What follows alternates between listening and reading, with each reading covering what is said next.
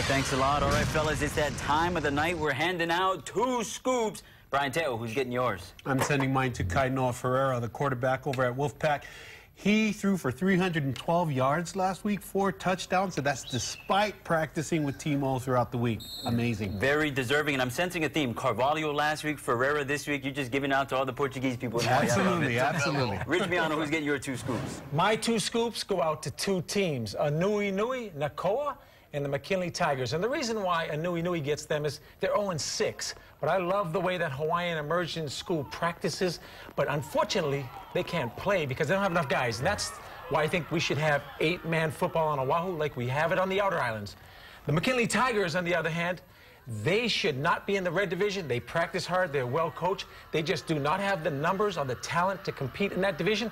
And therefore, for any administrators that are listening, they need to have the coaches decide if they're in the red, the white, Division One, Division Two, and hopefully eight-man football as well. Two scoops to two schools. Sammy, who you got? Mine's going out to Kalaipo Haku. Jonathon Manalo, slot back, a senior was banged up last week against Kamehameha, pretty much ended his season with a leg injury, so it's a tough way to end your senior season, but he's done a lot for the Crusaders over the years. Check out the run he had against Fagaitua from American Samoa. This touchdown was incredible. Jonathon, get well soon. Get well soon. And I don't have two scoops to hand out, but you guys can help me out with something. Sam and I had a debate earlier today regarding Kamehameha.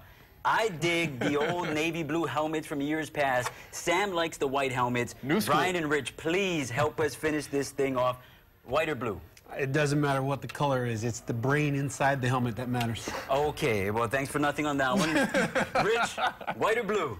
I'm going to go, my son likes the white helmets, and because they're the new helmets, I assume they're safer and they're better made. So I'm going with the new white ones. That's what my son Kupa says. And I'm sure the safer. You can find out more about that at gpahawaii.com. We haven't really figured anything out, so let us know we got a white on Facebook, on Twitter. Help us figure this out. But let us know who also gets your two scoops using the hashtag cover2 for Sam Spangler, Rich Miano, Brian Teo, John Veneri, co-director Kim Lee, our entire Cover 2 crew.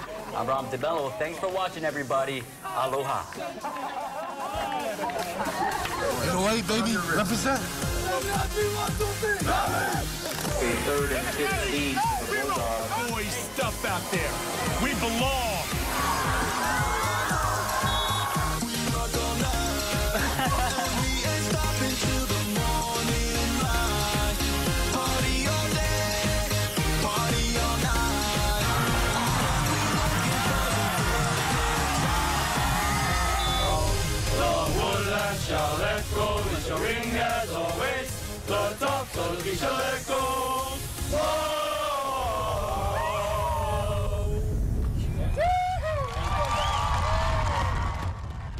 Cover 2 is proudly sponsored by Domino's, Geico, and Straub Bone and Joint Center.